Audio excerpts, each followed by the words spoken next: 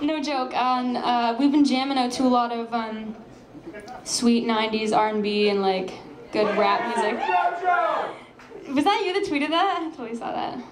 See all my tweets. I lurk a lot, and uh, I can't remember who was. Hopefully, the maybe the person's in this room. I don't know, but I'm somebody. I was tweeting about what was the song? Oh yeah, hey, must be the money. You know that song? Great tune, great jam, rockin', total rockin' jam, and. Uh, Someone said, I remember dancing to that when I was four. And I was like, that's the first time I felt wrinkly.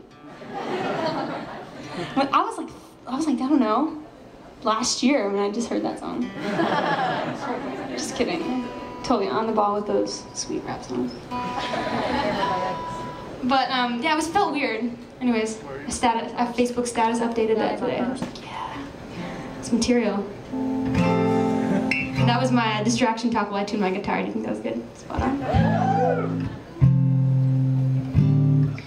So as I was saying, you know, you find a good song, and uh, no matter how you dress it up, it's gonna be a good song. You can't take that away from it. And that's why covers are great. And I do a lot of covers. I just pick songs that really stand out and that have affected me in life. Can I have less guitar on the monitor, by the way? Yeah.